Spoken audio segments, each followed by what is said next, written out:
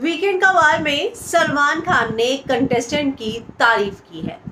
कौन सा है वो कंटेस्टेंट और उसकी तारीफ़ में क्या कहा है? मैं ही कुमावत, फ़िल्म इंडो पे आपको बताऊँगी। दरअसल सलमान खान ने राखी सावंत को भी वार्निंग दी है कि आप एंटरटेनमेंट के नाम पर अब इस तरह की हरकतें नहीं करेंगी। मर्यादा में रहकर बात करेंगी और ठरकी जैसे शब्दों का इस्तेमाल नहीं करेंगी। वहीं अभिनव शुक्ला को डांट लगाई है कि आपने गंदी औरत क्यों बोला, गंदगी क्यों बोला? रुबीना को डांट पड़ी है कि आपने बाल्टी भर के पानी क्यों फेंका। लेकिन राहुल वैद्य की तारीफ़ की गई है। जी हाँ राहुल वैद्य को कहा गया है कि आपने जिस तरीके से उस पूरे टास्क में परफॉर्म किया और जिस तरीके से आप इन दिनों गेम खेल रहे हैं, वाकई में आप बहुत सही जा रहे हो राहुल वैद्य। तो इस तरीके से सलमान खान ने राहुल वैद्य की तारीफ़ की है।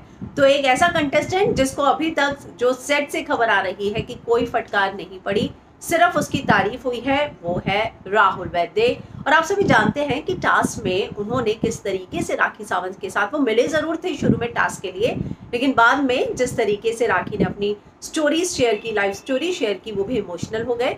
और बहुत अच्छे से उन्होंने पूरा ये टास्क किया। वो अली को भी सवाल करते हुए नज़र आए कि, अली, ये तुमने डिफरेंसेस कब जो है अपने सॉल्व कर लिए? और मैं पहले भी कह रहा था कि आप दोनों को अगेंस्ट खेलना है, मिलकर नहीं खेलना। तो राहुल वैद्य के गेम प्लान की सलमान खान ने अब तारीफ़ कर दी है।